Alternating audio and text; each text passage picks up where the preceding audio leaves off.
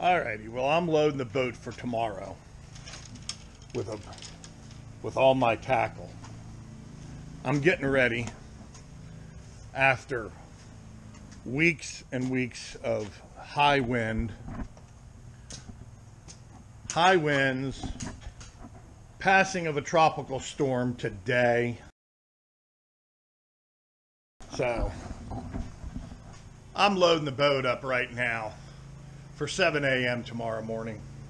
I have no earthly idea after all this what that river's even going to look like, what we're going to get, what kind of bites.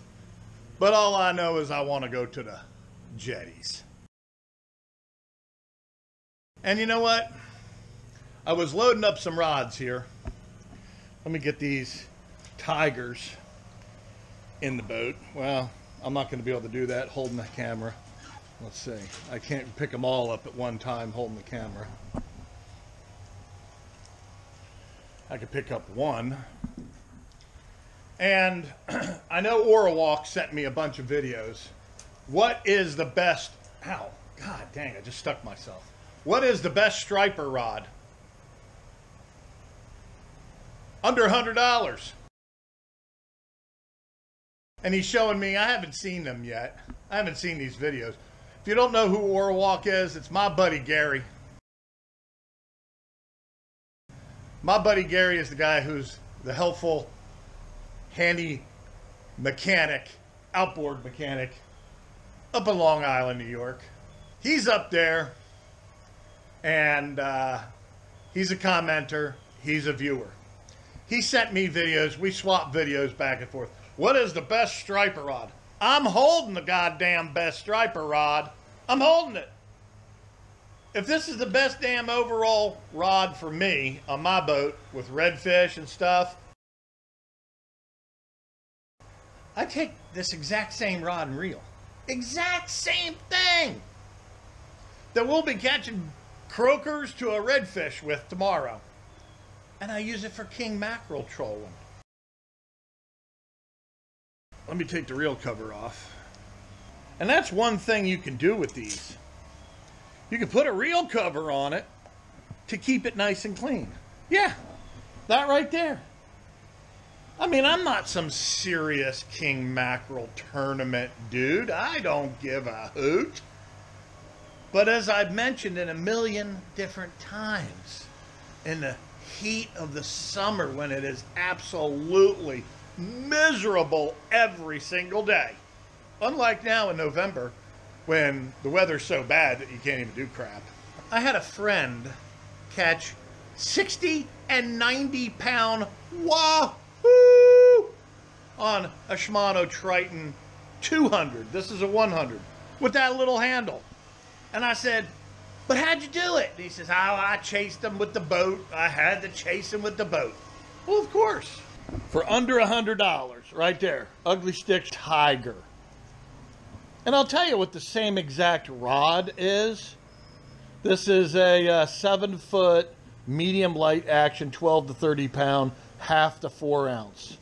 That's what this rod is. But basically, let me Wait a minute. I see a I see a smudge on the camera. Hold on. This is one of these real spontaneous like videos, folks. Hold on. All right, honey. Can you see me better now? You noticed I shaved? yeah, the pure white beard. I don't know. You know, I kind of got allergies. I got to go every every two weeks and get an allergy shot in each each each arm. And uh, it's kind of like a reoccurring thing. I mean, I had allergies when I was a kid in Texas, you know. Um, and I guess with old age now it's kind of coming back. Had a lot of sinus issues, lots of sinus issues. So they think that it's allergies. But um, at the same time, they're giving me these shots, and not necessarily because of the beard itself not hair on your face, baby. But anytime I do not crop it, I don't know, maybe it's hair on your face. It got real itchy and I got redness. I always get red like on my cheeks, and that's part of the allergy shots or something. So it was it itched right here and right here, right on my jowls.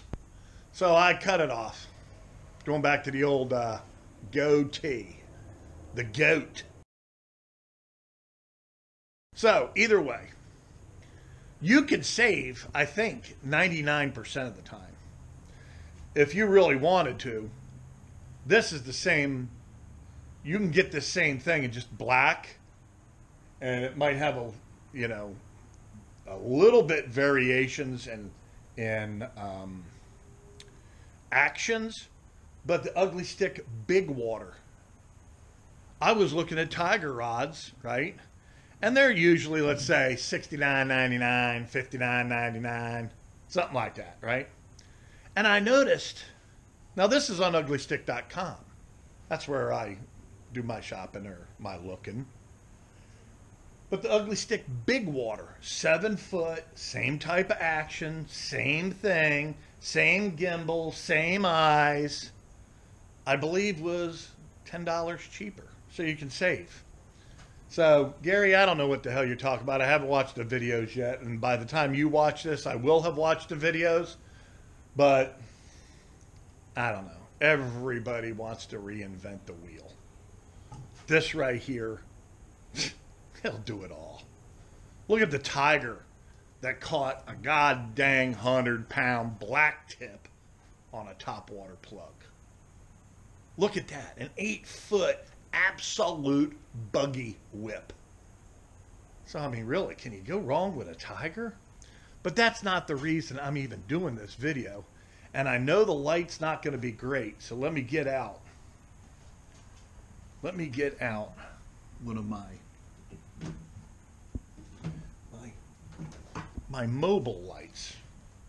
Because you know, as I always say, you know, when you got all that bullshit in your T-top and and your dancing neon lights all around the, guess what?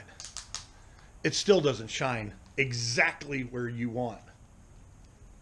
Always, always have a light that goes with you. That's my theory.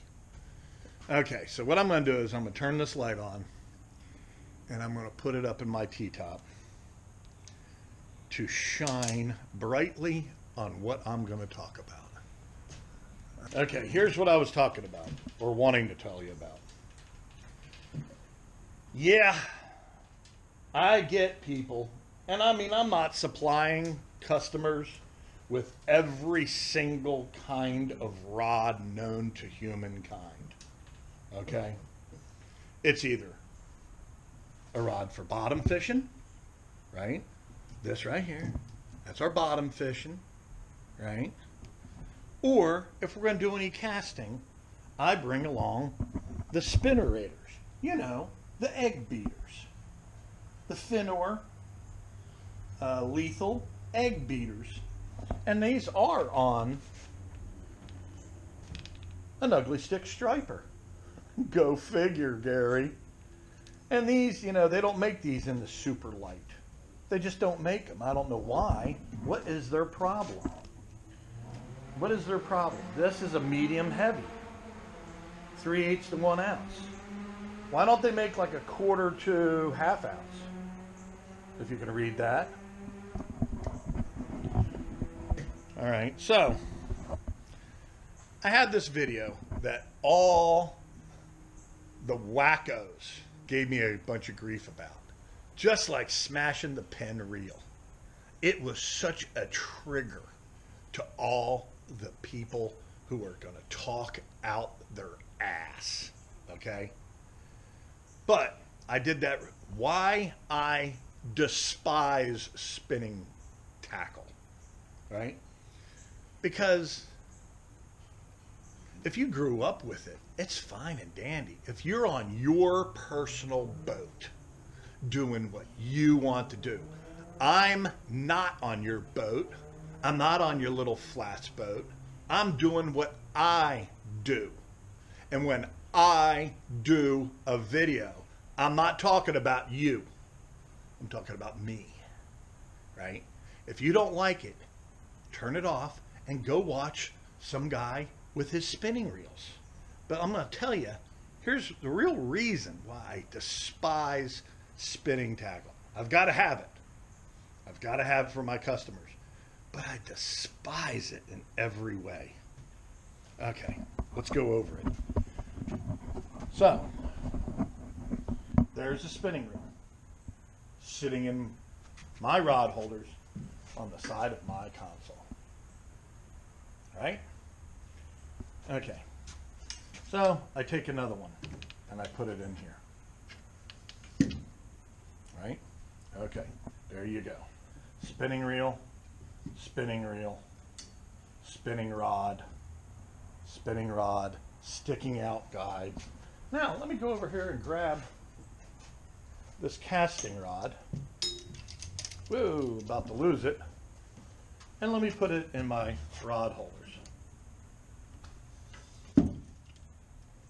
Okay.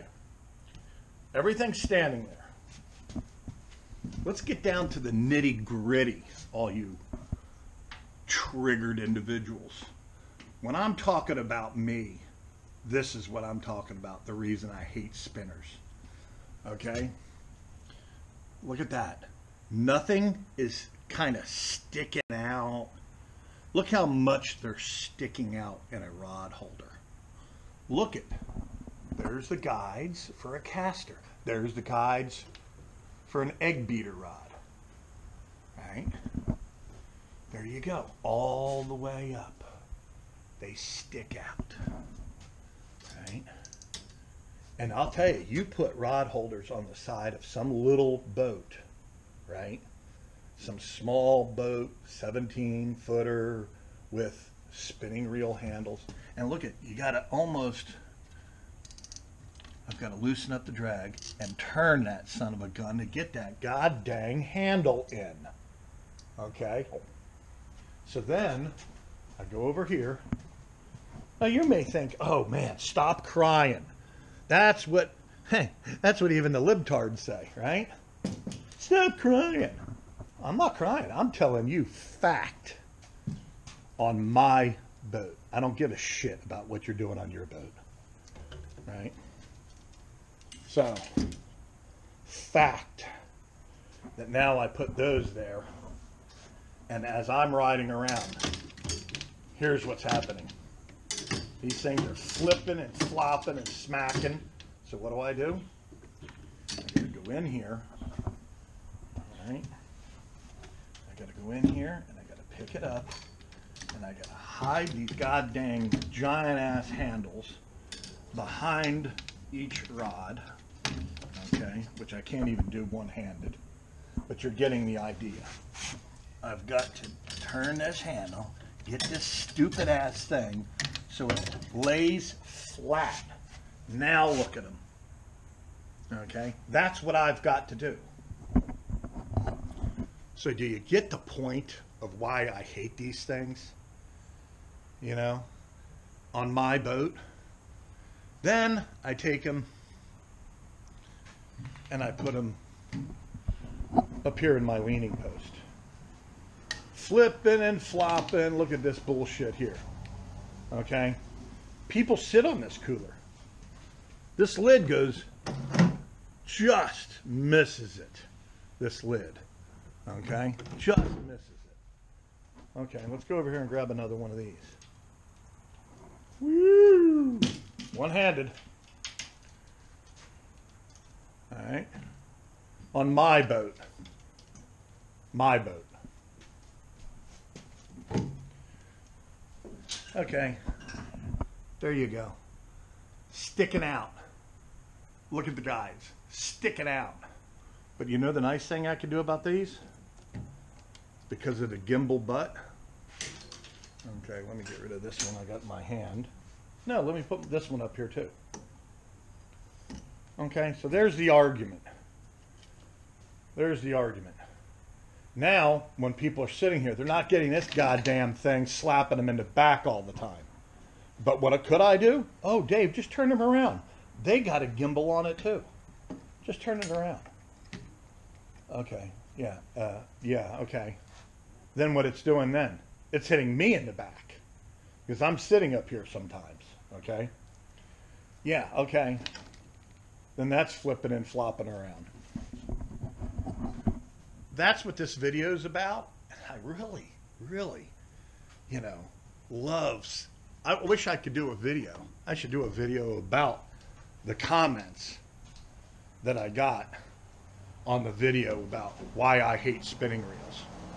Oh, you're not holding it right. Oh, well, you know what? If you watch the video, I show you what potentially people do. Not what I do. I know how to use all tackle. All tackle. Okay? Only thing I've never used is one of those Alvey reels, I believe, from down in uh, Australia. Those big spools that go on like a big spinning reel. They even have their own rods for like major surf casting, and it turns, right? And it turns into a spinner. But for casting, it turns into, well, for no, for reeling in, it turns into like a, like a regular, you know, conventional reel. But then for casting, it turns into a spinner. Alvey reels. It's the only thing I've never thrown in my entire life. I've fly fished. I grew up fly fishing. I actually grew up uh, when I was a kid. I fly fished in a native trout streams with smallmouth bass in it. Okay, even. So there's the video. That's the crap I got to put up with because I got to take these things. I don't have to, but I do because I want sometimes people to be able to cast to some structure or something along. But that's just me, okay? So I'm doing this. This is a Dave problem. And yeah, I get over it, but I'm just trying to explain. I'll put the video link below or in the card at the end of the video. There's those squares that show up. I'll put it in there of why I hate spinning tackle. But what this is just going to be I think I just might call this loading a boat. Okay? Trials and tribulations of loading my boat.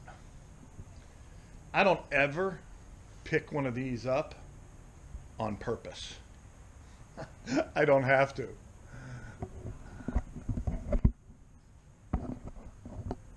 I got two Daiwa Ryogas right up there. They'll outcast these spinning reels with the exact amount of weight on them. How about that? How about that? I'll talk to you later.